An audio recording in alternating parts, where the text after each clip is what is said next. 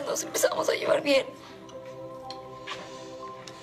En el correo de José se disculpaba por lo que hizo en la iglesia y me dijo que quería ser el mejor padre para mí y para mi mamá. ¿Por qué la vida se la llevó tan pronto, mami? Nikki, mi amor. La muerte nunca avisa. Debemos pedirle a Dios por su descanso y que a ti te traiga la resignación y el consuelo que necesitas para superar su ausencia, muñeca hermosa. Por fin.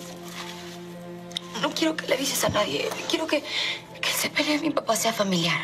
Sí, será como tú quieras, hijita mía. A quien sí le tenemos que avisar del funeral es, es a Kendra. ¿Qué?